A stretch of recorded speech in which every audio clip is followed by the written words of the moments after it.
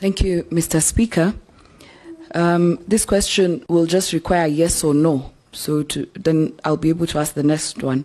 So, Professor Kindiki, are you aware that for the last two years we have internally displaced persons in parts of the North Rift, that is Samburu County, parts of Baringo, Elgeyo Marakwet, and other parts of the North Rift? It's a yes or no. Yes. So, if this committee finds you suitable to hold this office again, what measures will you put in place to see that these families go back to their homes and especially school ch- going children will go back to school and people can go back to their homes and live peacefully?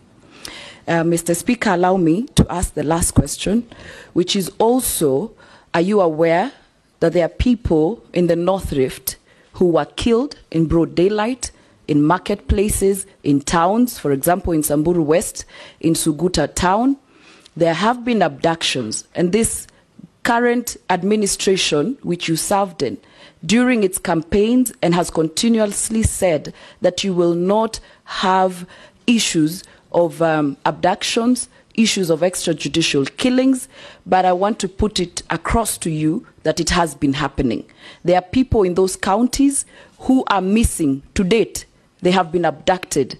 I want to ask you whether you're aware, and we have sufficient been informed that it is alleged that it is security officers who have abducted these people. Is that one of your measures of ensuring?